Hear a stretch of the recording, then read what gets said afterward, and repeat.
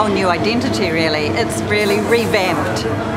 I always say the earthquakes actually gave us permission to do things that we've often thought about but never got round to doing.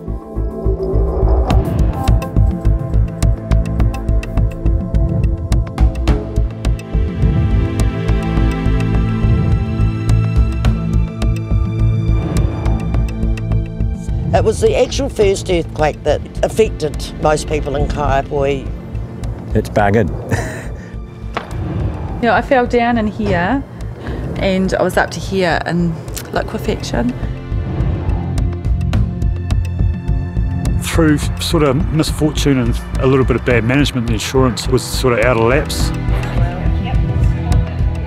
There's a lot of depression, there's a lot of stress, there's a lot of anxiety, there's a lot of tiredness and exhausted people.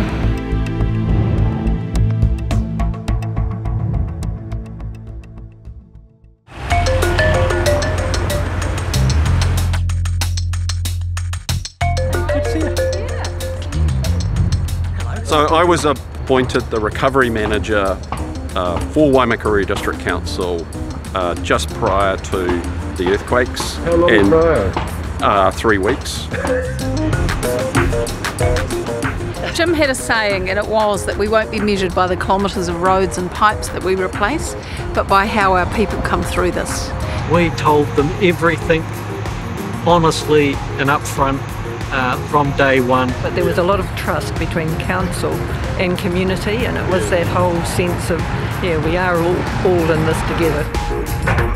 It was a one-stop shop. People yeah. could come and we would find them the right answer. Yeah. We were accessible, we were available, we were there in their town going through what they were going through.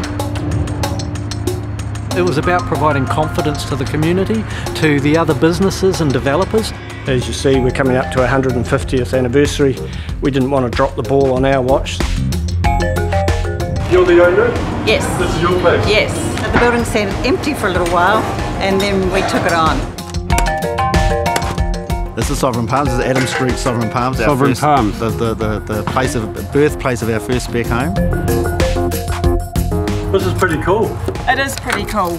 Um, and the coolest thing about it is that it was really all kind of, um, you know, donated time.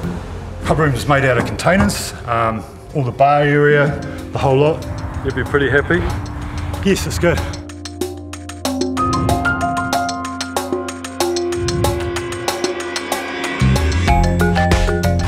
Go out there and think big? Okay, we're going to build an aqua sports park.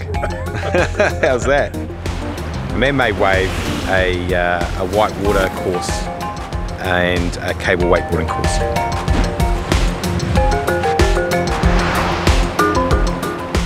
I can't totally blame Christchurch, but let's say there are a lot of agencies and a lot of voices being um, heard in the city and they weren't as.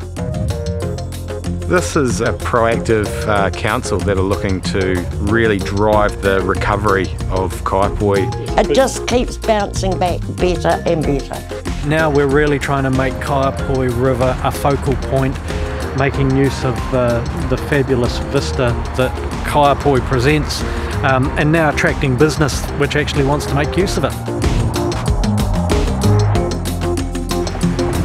Do you reckon when you're an adult you'll live here? Maybe. Maybe. Maybe. It's either here, Rangiora, or Christchurch.